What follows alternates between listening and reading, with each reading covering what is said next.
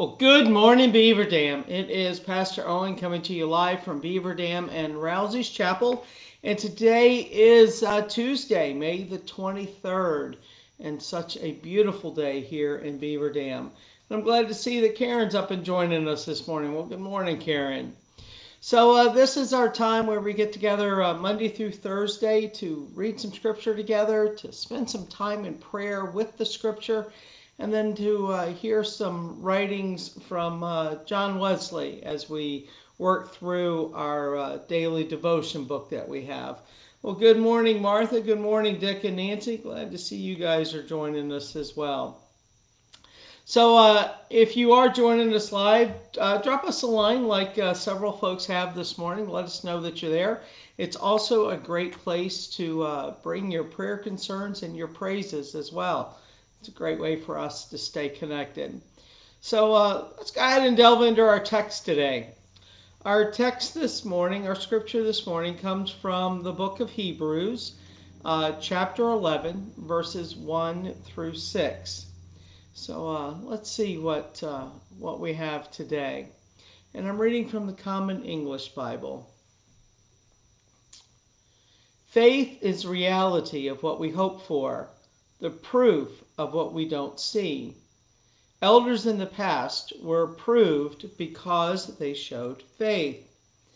By faith, we understand that the universe has been created by a word from God, so that the visible came into existence from the invisible.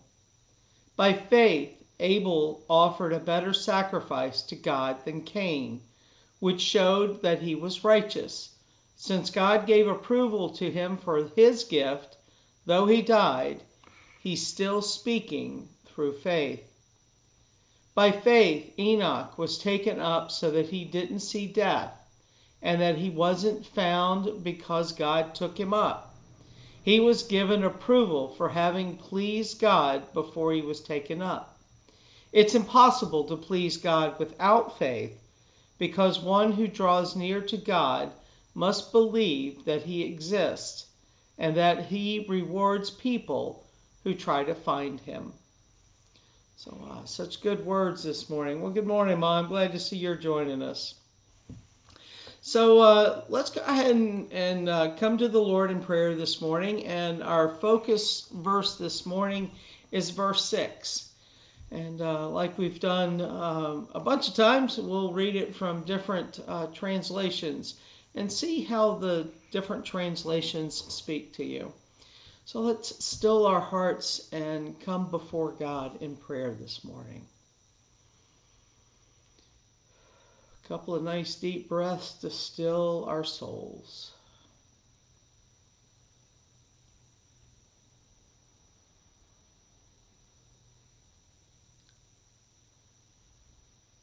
Hebrews chapter 1 verse 6 from the King James Version.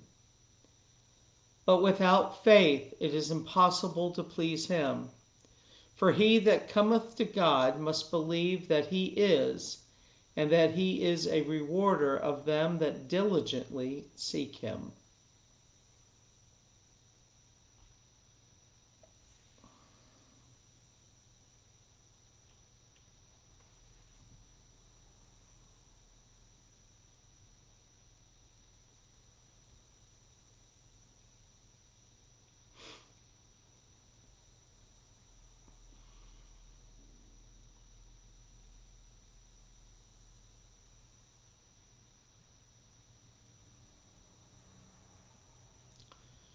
From the New Revised Standard Version. And without faith, it's impossible to please him. For whoever would approach God must believe that he exists, and that he rewards those who seek him.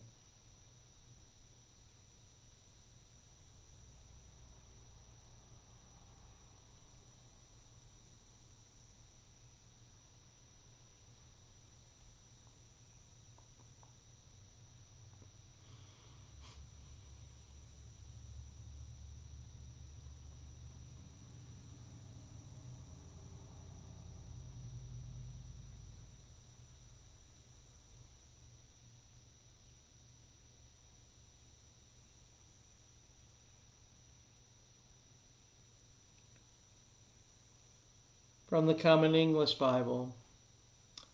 It's impossible to please God without faith, because the one who draws near to God must believe that he exists and that he rewards people who try to find him.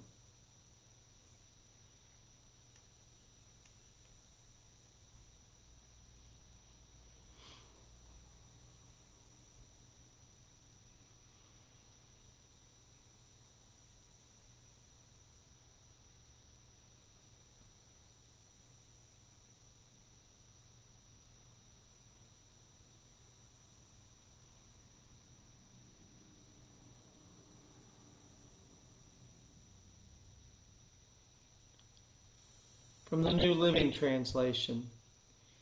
And it is impossible to please God without faith. Anyone who wants to come to Him must believe that God exists and that He rewards those who sincerely seek Him.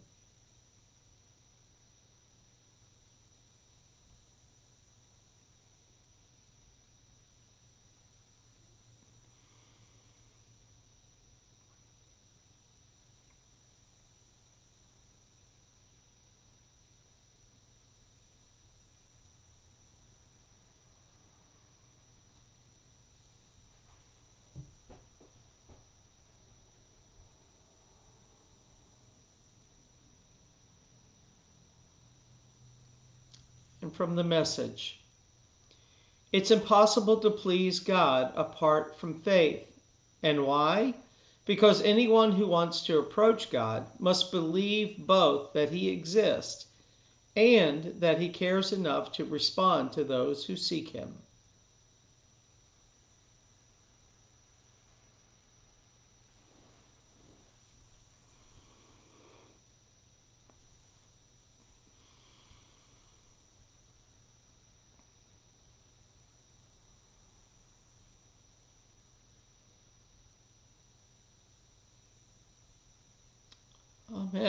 Amen. Amen.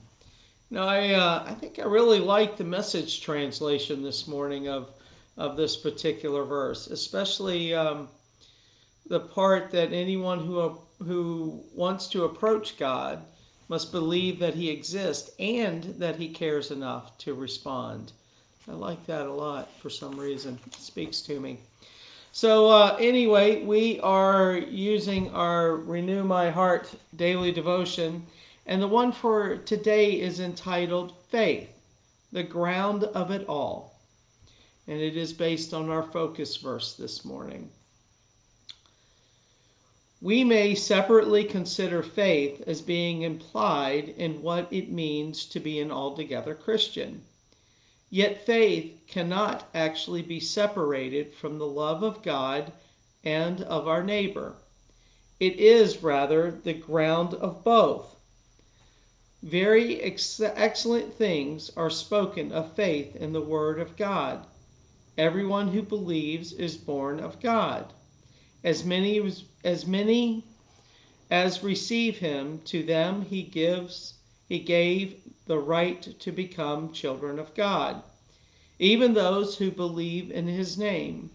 And this victory that has overcome the world, our faith. Our Lord himself declared that one who believes in the Son has everlasting life and shall not come into judgment, but has passed from death into life. But let none deceive his or her own soul. The faith which does not result in penance, repentance, love, and all good works is not the, that true living faith, but a dead devilish one. Even the devils believe in the Old and New Testaments. They believe that Christ was born of a virgin, that he worked miracles and declared himself very God. They believe that he suffered death to redeem us from everlasting death, that he rose again, is at the right hand of the Father, and will judge the living and the dead at the end of the world.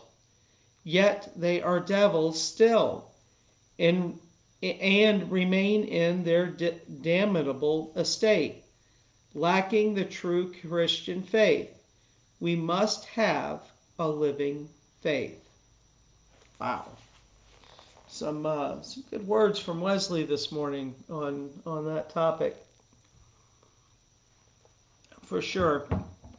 So I thought I'd also would share with you this morning um, uh, one of the Wesleyan core terms that is found in my uh, my Common English Study Bible, and it's entitled Faith, and it, it has to do with chapter 11. Because if you if you went back and you read the rest of chapter 11, um, the writer gives you lots of examples of um, Old Testament figures and the faith that they had. And it's well worth going back and reading all about Noah and Abraham and Sarah and uh, and Jacob and Joseph and all of those all of those uh, historical biblical characters. So let's uh, let's see what we have here on the, our Wesleyan core term on faith. Faith was one of the most important theological concepts for John Wesley, as well as one of the most complex. Over time, Wesley came to think of faith in different ways, all of which are important. He first thought of, of it primarily as believing the truth of Christian revelation. He never gave up that idea, but through his own experience of grace of God, his own experience of the grace of God, he realized that faith also involves trust and confidence. In fact, having this trust in God became so important that eventually he began to consider faith as evidence of God's love that, secure, that could secure our trust and confidence.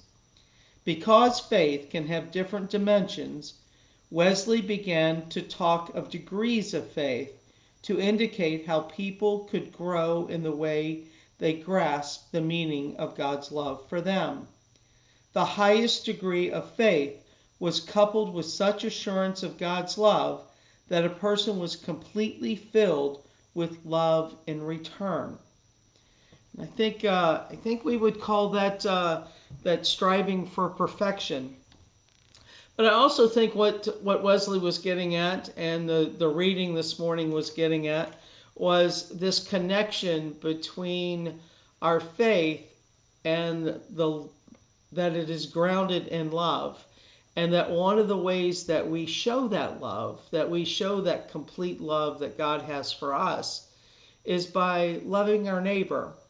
And I think that's uh, that's important that we that we maintain those connections that just because we believe, if we're not demonstrating that belief, then uh, we're not doing everything that we need to be doing.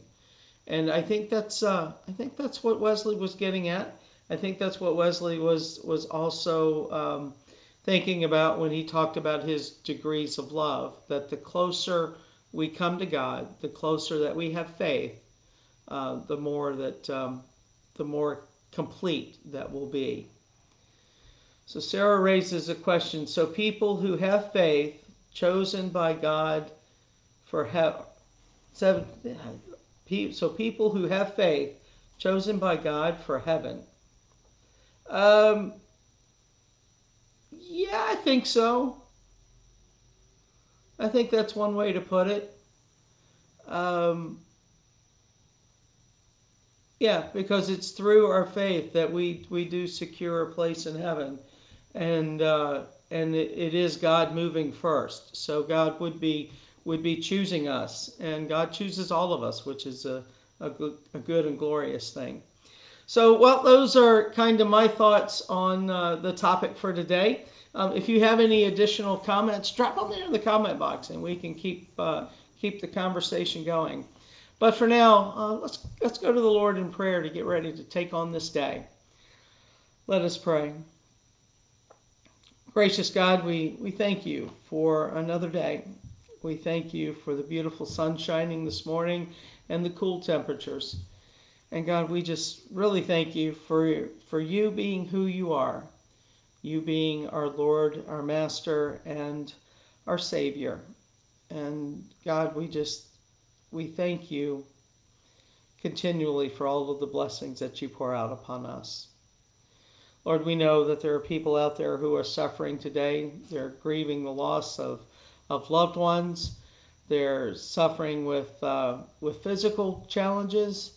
And uh, they're just suffering with all of the things that life throws at them. Lord, help us see those people who are in need and guide us to helping them as much as we can and where we can. And Lord, we know that when we do this, this is one of the ways that we show how much we do love you. And it's a demonstration of the love that you have for us. So, God, we ask that you continue to guide us and inspire us to walking closer with you, and by walking closer with you, by to love our neighbor as well. So, Lord, we just we thank you, and uh, we raise this prayer to you in the name of our Lord and Savior Jesus Christ. Amen. Well, friends, remember that this is a day that the Lord has made. Let us rejoice and be glad in it. Go in peace, y'all. Bye for now.